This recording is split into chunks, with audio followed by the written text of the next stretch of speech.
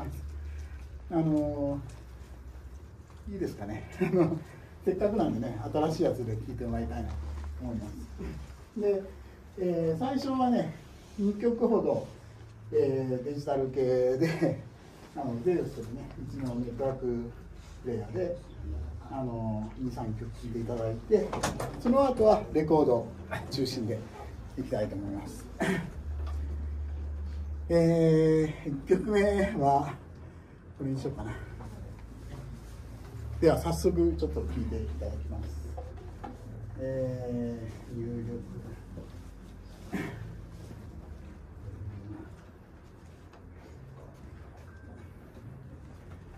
え、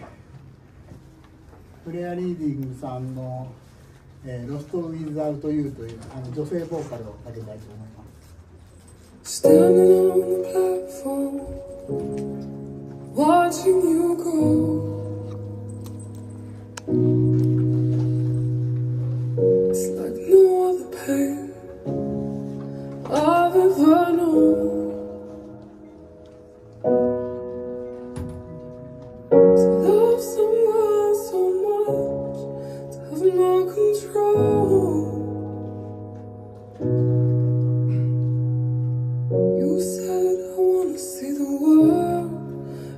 But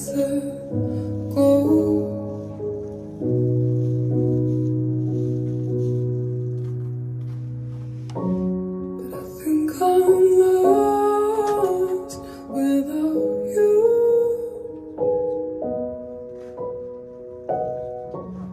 I just feel crying.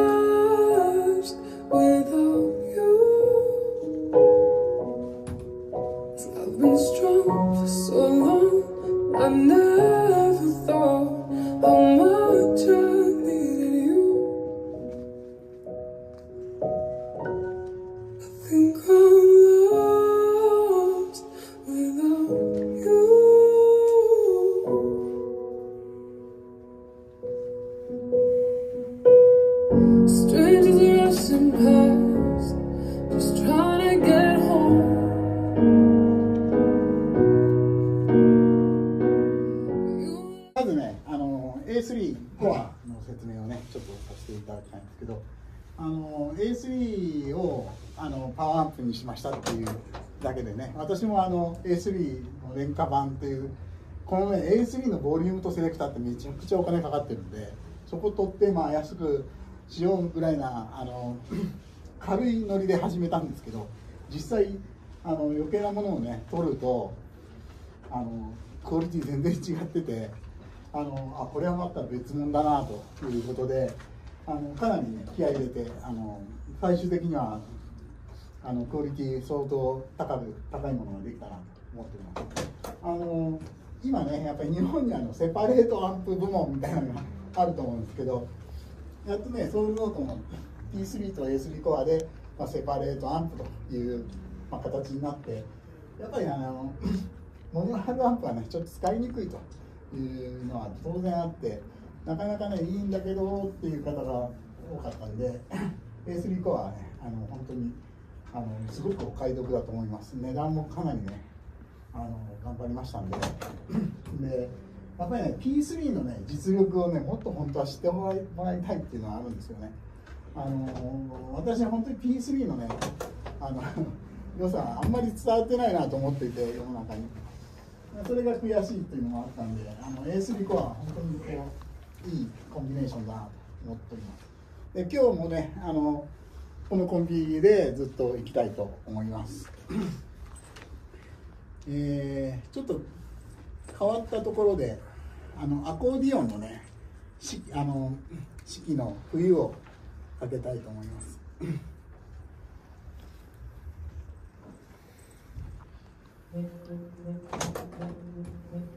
ん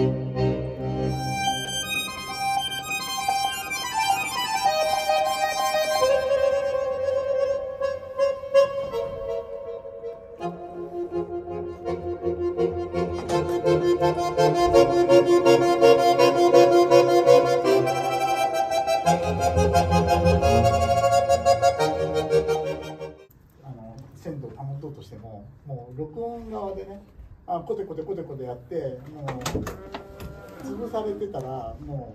うどうしようもないですね。まあそういうのもねあの作品としてはそういうのもあってもいいんですけどそういうのばっかりになっちゃうとあの本当に真面目に録音されてるタトさんみたいな方はあの活かせなくなっちゃうんですよね。せっかく作品作ってもそれをちゃんと再生できる装置がないとあの意味がない。でそういう意味ではねもうタッドさんもすごいソウルノーツに感動してくださってで、まあ、そこからね意気投合してるんですけどもこの間のミュンヘンもねタッドさんとあのコンビであのタッドさんのレコードをかけてはでタッドさんのレコードを売るというねそういうことやってましたけどすごいなんか売れたみたいでよかったんですけど、まあ、この曲もねその時にめちゃめちゃバカ売れした曲で。でね、なんかね、ミュンヘンのショーではもう思ったんですけど、やっぱり曲は最後まで聴かないとね、失礼だなと、曲に対して。で特にね、タッドさんって、あの MA レコードって言うんですけど、あの、間って書くんですよね。あのタッドさん、すごい日本語が上手ですごい上手なんですよ。すごいっていうか、むしろ、あの、英語が得意な日本人ぐらいあの日本語が得意であの面白いのはねタットさんの最近あの面白い動画を送ってくれるんですけどあの空耳アワーを送ってくれるんだ ええ外外人でも空耳アワー分かるんだみたいな感じ。ちょっと驚くんですけど。まあちょっと話それましたけど、まあ、そういう意味でねあの、まあ、いろんなねオーディオあっていいと思うんですけどあのソウルノートはあの、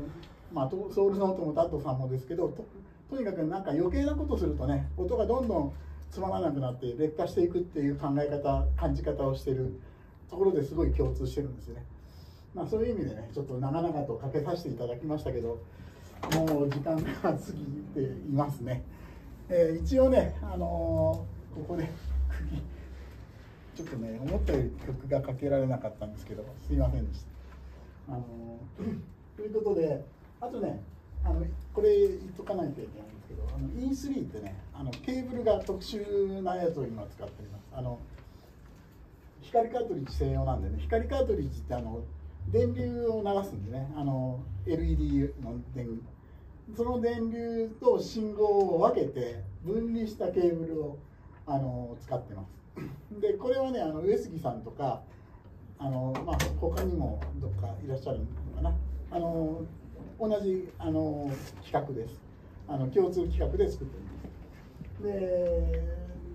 最初はねあの添付しようと思ったんですよ。どうしても使ってほしくて。やっぱりね音全然違うんで。